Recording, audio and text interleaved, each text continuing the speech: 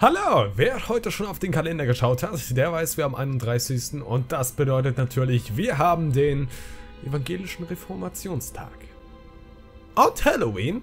Und deshalb spielen wir heute Outlast. Woohoo. Schwere Gewalt, Blut, sexuelle Inhalte und Kraftausdrücke, man kennt es. Viel Spaß. Wie das hier steht. Und unsere Intention liegt darin, die dunklen Geheimnisse im Herzen der Nervenheilanstalt Mount Massive aufzudecken. Okay, los geht's. Sind wir schon in Bayern? Okay. Da sind wir also angekommen. In der Ehrenanstalt, in der verlassenen Ehrenanstalt. So eine Ehrenanstalt ist schon ein Stück weit gruselig. Der Verlassene ist äh, mein größter Albtraum. Ah, Sie kennen mich nicht. Muss mich kurz fassen, werde vielleicht beobachtet. Okay, okay, das, das sind schon mal gute Unterlagen, auf dessen Basis man entspannt in diese Ehrenanstalt eintreten kann. Schreckliche Dinge gehen da vor sich, verstehe es nicht. Glaube nicht mal die Hälfte der Sachen, die ich gesehen habe. Doktoren faseln etwas von Traumtherapie, die zu tief geht. Und dass sie etwas gefunden hätten, was auf sie im Berg gewartet hat. Leute kommen zu Schaden und Murkoff scheffelt Geld. Das muss aufgedeckt werden. Und dafür sind wir natürlich da. Ein, ein äh, angstloser Journalist. Natürlich. Ja, der sind wir mit unserer wunderschönen Kamera. Ah, ich finde schon dieser Nachtmodus sieht gruselig aus als die, das, das Dunkle an sich schon. Ein Stück weit. Ich kann jetzt keine dunkle Atmosphäre hier beibringen, wegen den Softboxen. Aber wichtig ist, ich sehe das alles hier sehr viel dunkler als ihr. Es sei denn, ihr habt auch ein IPS-Panel. Es ist einfach nur... Okay, okay, okay. Nun ja, dann, ups, hier ist eine Schranke. Unser erstes Hindernis. Also, ich kann so schnell Lauf machen. Aha, was für ein eigenes denn? Ah, mir wird schon schlecht, wenn ich mir diesen Ort nur anschaue. Die Nervenheilanstalt, Mount Massive. Die 1971 im Zuge eines Skandals unter Geheimhaltung der Regierung geschlossen und 2009 von Murkoff Psychiatric, Systems unter dem Deckmantel einer Wohlfahrtsorganisation wiedereröffnet wurde.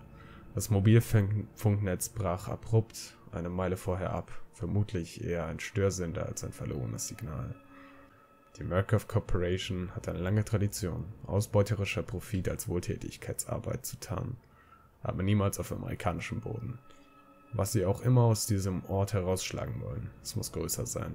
Vielleicht endlich die Story, die ihnen das Genick bricht. Das hoffe ich auch. Ja. Okay. Ich hab Schiss. Nein, hab ich nicht. Ja, wie, wie ich so schön sage, ich bin nicht ängstlich. Ich bin nur ein bisschen schreckhaft. Was sind das für Fahrzeuge? Sehen ein bisschen militärischer aus. Das ist egal. René, du spielst ein Horrorspiel. Wen jucken die Fahrzeuge? Warum erzählst du uns was darüber? das erinnert mich so ein bisschen. Ich weiß, das sieht jetzt auch wieder kein. Ist mir aber egal. Es erinnert mich ein bisschen an Super Mario 64, das Schloss.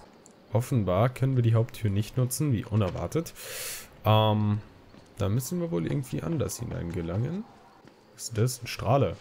Wozu ist eine Strahle hier? Ah, okay. Wie wunderschön. Da habe ich natürlich voll Bock drauf. Und dann... Boah, ich habe mich ein bisschen von dem Blatt hier gerade erschreckt. ich sag doch schreckhaft. Ups, nein. Was soll diese Musik? Wenn man das Musik nennen kann. Aha. Kann ich hier hoch? Okay, ah, ich will mich hier umdrehen. Ah, jetzt müssen wir sogar balancieren. Das ist ja Jump-Run-Elemente hier. Das ist ja der nackte Wahnsinn. Ich höre bereits ein komisches... Ich höre Menschengeräusche. Ah. Aha. Guck, guck. Lichter. Ah. Ah. Aha. Kein guter Einstieg, Mann. Absolut kein guter Einstieg, Mann. Komm, ich kriege einfach durch den Kamin direkt wieder hinaus. So machen wir es. Oh, stell dich vor, hier wäre so ein versteckter Jumpscare oder so. Scheiße. Das wäre ja echt schrecklich. Da ist bereits eine Tür, die ich nicht aufmachen möchte. Ich kann es langsam machen, ja.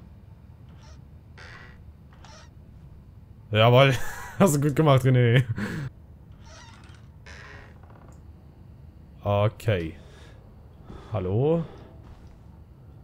Ist hier jemand? Warum? Also, ich habe schon so ein bisschen Adrenalin. obwohl ich nicht mal was gesehen habe. Das macht mich fertig, das Spiel. Das macht mich schon so fertig. Was ist das hier, der Papst? Das ist auch eine Kinderfickeranstalt. Oh! ah, ähm. Ah! ah! Wir müssen ja nicht gleich so übertreiben. Das war nur ein scheiß Fernseher und ich drehe schon durch. Kann ich hier reinkriechen in den Kamin? Ist das überhaupt ein Kamin? Ähm. Okay. Okay. Wir gehen durch die nächste Tür. Das ist so ein bisschen wie äh, das komische Spiel mit den Spooky äh, House of Jumpscares. Irgendwie so. Warum habe ich das nicht aber gespielt? Das wäre viel einfacher gewesen. Mhm. Ich kann nach rechts schauen. Okay, das, das äh, freut mich. Äh. Hier reinlunzt. Okay. Okay. Okay, hier ist ein Computer. Und hier ist eine Batterie. Das ist sehr beruhigend. Die nehme ich tatsächlich gerne an mich. Wir bewegen uns mal weiter. Was ist das hier? Teamwork. Was haben wir denn hier? Da will ich ehrlich gesagt auch noch nicht rein. Irgendwas sagt mir, dass diese Tür hier bösartig ist. Irgendwas.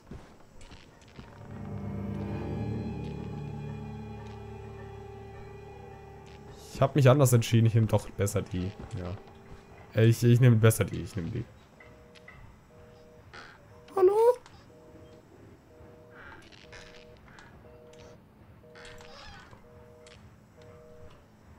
Ah. Okay. Ah, ein weiteres Dokument. Boah, wie der ist grabbed. Das sah richtig äh, interessant aus. Okay. Therapiestatus. Patient behauptet, in selbstgesteuerte, luzide Traumphasen vorgedrungen zu sein. Morphogenetische Antriebsaktivität in beispiellosem Umfang beobachtet. Fahren fort mit Stufe 4, Hormonen. Dieses Telefon macht mich ein bisschen fertig. So kleine Dinge, so kleine Details wie, ein, wie, ein, wie so ein Telefon, so ein totes. Das hat auch kein Kabel, ne? Warum habe ich das Gefühl, dieses, dieses äh, Telefon hatte nie ein Kabel? Das ist ja durchaus verblüffend. Und deshalb bin ich auch hier, um solche Dinge aufzuklären. Warum ist hier eine Blutspur? Warte mal. Oh, cool. Ich bin beeindruckt. Hm. Ah! Was soll der Scheiß? Ah, okay. Ah, da ist offensichtlich jemand drin. Ah, dann würde ich doch vorschlagen, wir gehen. Was? Ich mach die mal zu. so schön unauffällig. Okay. Hier kann ich hoch. Wunderschön. Freut mich zutiefst. Hier geht's anscheinend auch weiter. Aber Sehen wir hier irgendwas? So bestimmt mehr, René, jawohl.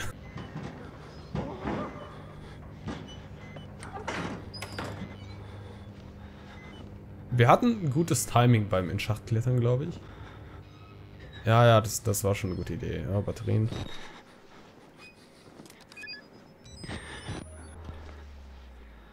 Oh, hier kann ich anscheinend runter. Aha. Okay. Hup. Okay, okay. Hallo? Hallo? Kann ich das aufmachen? Ich will's nicht. Gut. Hier können wir anscheinend auch nicht vorbei. Okay. Soll ich... Ich weiß nicht. Also, es ist mir eigentlich lieber, sie sofort aufzuschlagen. Einfach weil es sich nicht so zieht, weil es äh, weniger Spannung ist. Aber zum anderen ist es halt so laut. Ich weiß nicht, ob das einen Einfluss hat. Ah, nee, nee. Die, die... Ah!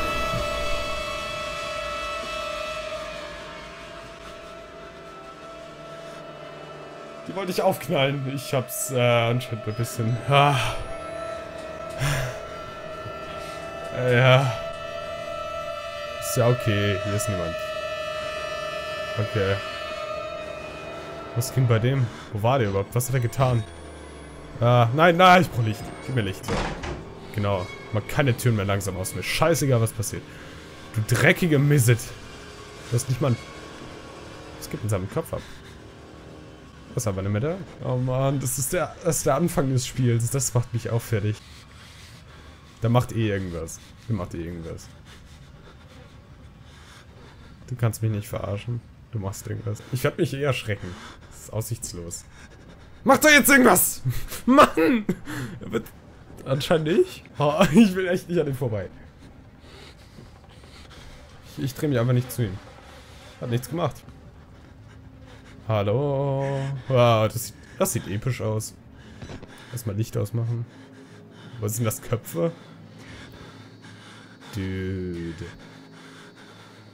Dude. Der tropft sogar, also so lange ist es nicht her. Hier hängt noch einer. Uh, äh. Also ich hätte eigentlich auch Lust euch zu hängen. Besser als hier noch weiter zu verweilen. Schönen guten Tag. Was geht? Ah! Ah. Der Varianten, ja. Ah. Ah. Ah. Ah.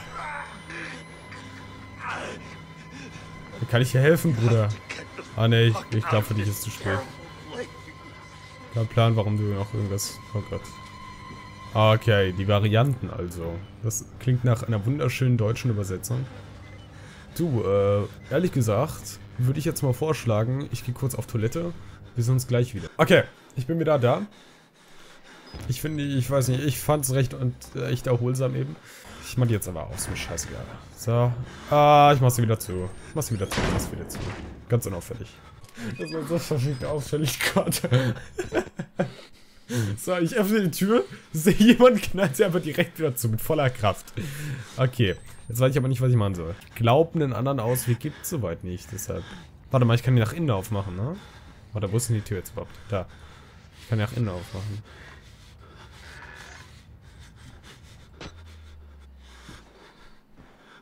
Hallo?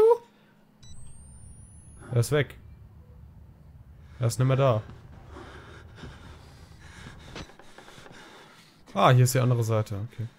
Hallo, sehe ich irgendwas? Hallo?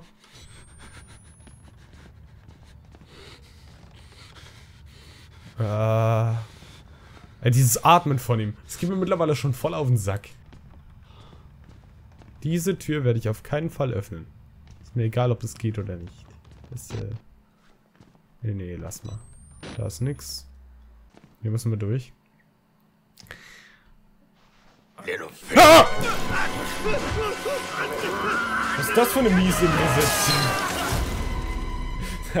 das sah aus wie ein fetter Fleischklaps. Ah. Okay. Bin ich tot?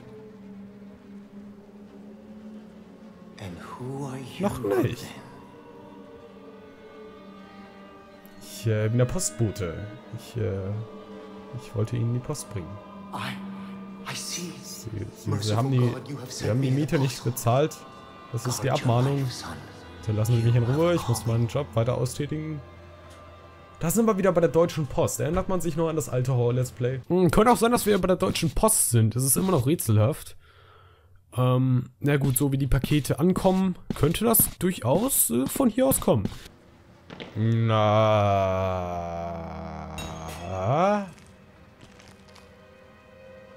Okay. Der Typ hat uns jetzt was erzählt. Ich habe nicht alles, äh, nicht allem ganz zugehört. Ich bin drin. Überall Leichen, Blut, Verbrennungen. Köpfe aufgereiht wie Flaschen in einer Bar. Tote Murkoff-Wissenschaftler hängen von der Decke. Auf ihren Namensschildern steht Murkoff Advanced Research Systems. Murkoff hat seit langem aus angeblichen Wohltätigkeitsprojekten Profit geschlagen. Bescheißt die dritte Welt und scheffelt eine weitere Milliarde. Wie wollte Murkoff Geld mit einem Haus voller Verrückter machen? Ein Mitglied einer Art Spezialeinheit wurde aufgespießt wie ein Schwein. Erzählt mir, ich soll hier verdammt nochmal verschwinden. Und stirbt dann. Das hätte ich wissen sollen, als ich noch auf dem Weg raus konnte, wenn ich reingekommen bin. Da wäre ich auch schon länger abgehauen. Es geht nur noch darum, hier abzuhauen. Und das wollen wir anscheinend über das Sicherheitsterminal machen. Wir sind... Boah. Ekelhaft. Wahrlich widerlich. Das ist... Was ist das? Was war denn das? Okay. Hi Bruder, was geht? Bist du böse? Er springt mich jetzt eh an oder so ein Scheiß. Hallo. Eigentlich bin ich viel zu nah an ihm. Ne, ich glaube, der ist brav. das, das ist, glaube ich, ein Fehler, sowas zu sagen. Interessant, dass hier noch Strom läuft.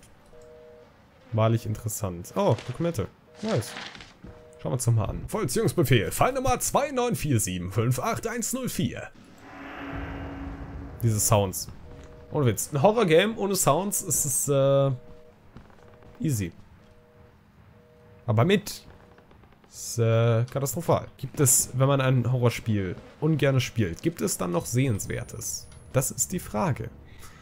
Aha, hier kann man rein. Interessant.